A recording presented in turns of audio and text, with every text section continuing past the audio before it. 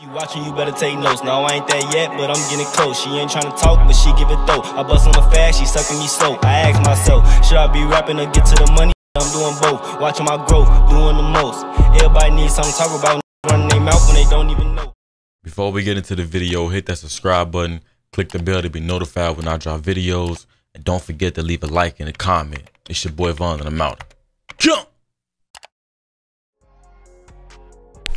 What up, YouTube? Y'all already know who it is. Don't your boy Von. And I got them 2K19 official controls. I'm talking about the first one to do it. You already know how I'm coming, man. Y'all know I had y'all last year, 17, 16, and so on, you know?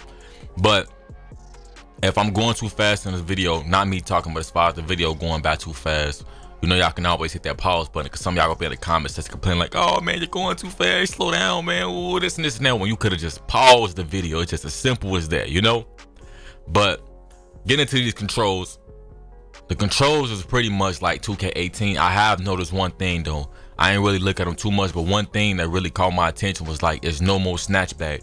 Like they completely removed the snatchback in the game. So some YouTubers had said something about it was gone and this and this and that. Now I don't know if the left right gone. I know that's been a problem as well as the snatchback. Basically, them been the, the main two things people been complaining about. Well, and also dribbling through somebody's body. So hopefully the defense fixed and it's like 17 in the previous game where you do too much dribbling or too much contact, you can drop the ball. You know what I'm saying? I hope they bring that back. You feel me? But as far as the whole snatchback, yeah, there's no more snatchback, so you can't just you know right trigger and try to blow past somebody's snatchback. They also have um fixed the little blowback animation. I know it's still in the game because you know weight gotta have some type of fact in the game, but I don't think you can just blow back as easily how it was in 2K18. I don't know if that was like a mistake they made or what, you know what I'm saying? But everything looking good, pretty much the same, you know what I'm saying? But I've been already told y'all, man, 2K19 was gonna be like a 2K18 remastered, aka 2K18.2, you know what I'm saying?